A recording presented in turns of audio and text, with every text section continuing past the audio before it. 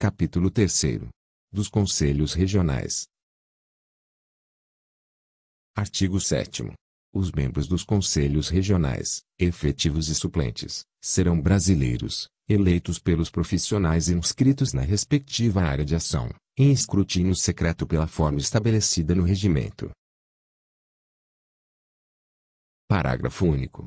O mandato dos membros dos conselhos regionais será de três anos, permitida a reeleição uma vez.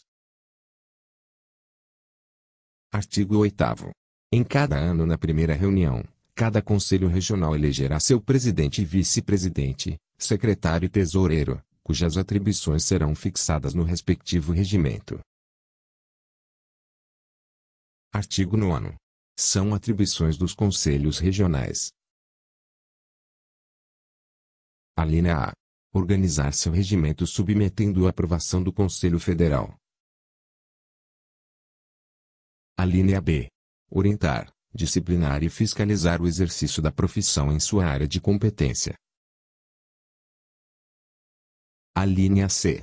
Zelar pela observância do Código de Ética Profissional impondo sanções pela sua violação. A linha D. Funcionar como Tribunal Regional de Ética Profissional. A linha E. Sugerir ao Conselho Federal as medidas necessárias à orientação e fiscalização do exercício profissional.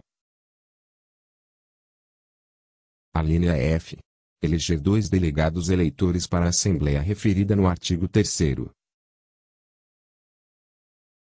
A linha G. Remeter, anualmente, relatório ao Conselho Federal, nele incluindo relações atualizadas dos profissionais inscritos, cancelados e suspensos. A linha H. Elaborar a proposta orçamentária anual, submetendo à aprovação do Conselho Federal. A linha I. Encaminhar a prestação de contas ao Conselho Federal para os fins do item que do artigo 6